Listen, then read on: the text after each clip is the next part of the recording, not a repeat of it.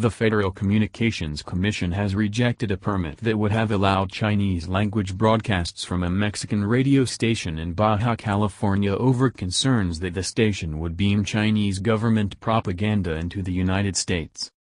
The Commission's International Bureau said in a statement Monday that it turned down the application for Mandarin Chinese programming to be produced in Irwindale, California, for later rebroadcast into the United States on ZUAM a formerly Spanish-language station near Tijuana, Mexico. The commission said it denied the application in part because of the failure to disclose Beijing's role in the ownership. The application was dismissed because the parties failed to include in their application a key participant, Phoenix Radio, which produces the Mandarin programming in its studio, the FCC said.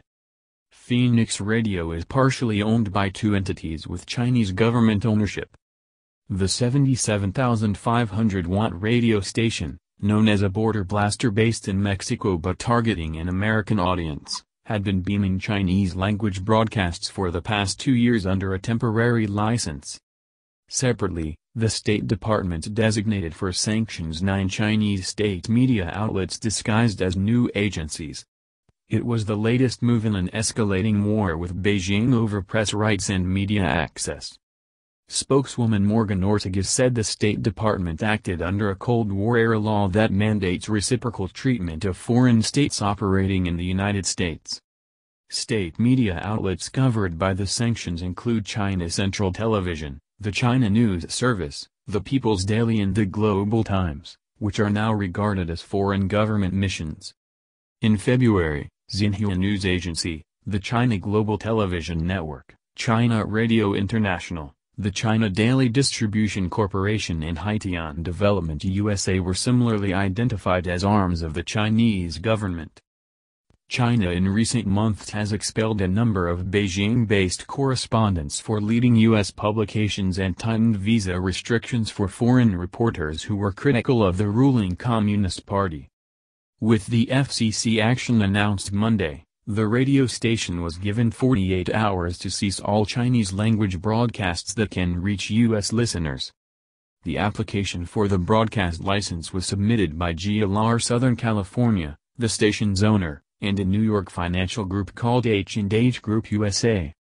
They denied in their 2018 application that they were a front for the Chinese government and said those opposing the application based their arguments on wholly unsupported allegations of improper influence in a self-serving effort to protect themselves from competition to the Southern California Chinese-speaking American audience.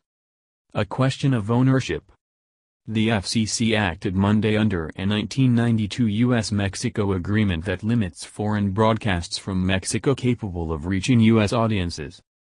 Until 2018, ZU was a Spanish-language station located in Rosarito, Mexico, about 10 miles from the U.S. border. Station owner sought an FCC permit to produce Chinese-language programming at a studio in Los Angeles but failed to identify the study as part of Phoenix Radio. The FCC said it will review the permit application again if the companies include Phoenix Radio as part of the application. According to the FCC ruling in the matter, Phoenix Radio is owned by Phoenix Satellite Television, U.S., Incorporated, formed in 2000 as part of Phoenix Media Investment Holdings Company Limited Phoenix Media, ostensibly a private company, has been linked to China's military. Its largest investor is the state-owned China Mobile Telecommunications Company. Liu Changle, director of Phoenix Media, is a former propaganda official for the People's Liberation Army, PLA and is close to senior Chinese Communist Party officials, said Sarah Cook, a China expert at Freedom House. Phoenix TV also was linked to the case of Chinese spy Chi Mak, who was convicted of illegally exporting defense technology to China in 2007. Mak's brother, Tai Mak, was identified by federal investigators as a PLA intelligence officer working undercover as a broadcast engineer for Phoenix in Southern California. Tai Mak was also convicted as a conspirator in the spy case. A reporter for Phoenix TV caused a stir in the White House in April by asking President Trump during a press briefing about U.S. government cooperation with China on the coronavirus. The reporter, who was not identified by name, was in turn asked by the president, Who are you working for, China? Do you work for China? Or are you with a newspaper? Who are you with? The reporter said she was working for Phoenix TV, and Mr. Trump asked, Who owns that, China? Is it owned by China? Is it owned by the state? It's a private-owned company, she said. Okay.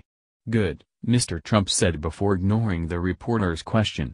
Look, I'll let you know. I'll give you a good answer to that in a few months.